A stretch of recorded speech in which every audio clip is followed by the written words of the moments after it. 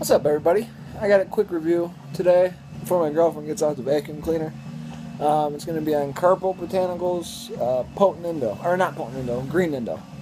Um, keep it short and simple. Um, it's not very good. Um, no offense to Carpo, I love Carpo, I love his channel. The kratom just didn't really do nothing for me.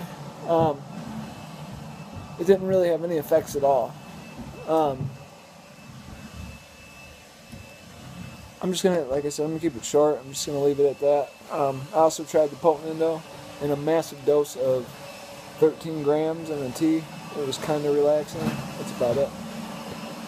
Um, I'll be back soon with some more videos. I haven't gone anywhere. I've just been uh, on the same strains. Nothing new to talk about. But I'm gonna start having kratom talk soon here.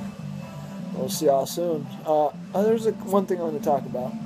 Um, I started working out lifting. And it's nothing new to me. It's been a while since I've been in the gym, but I'm extremely familiar and knowledgeable about it. And I have noticed that it does have, it makes the kratom stronger in general. It makes it more effective.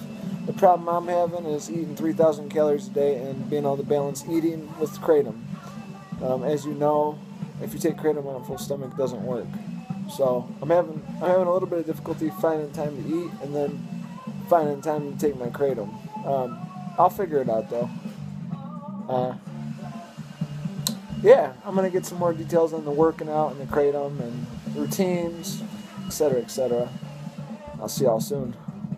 Peace.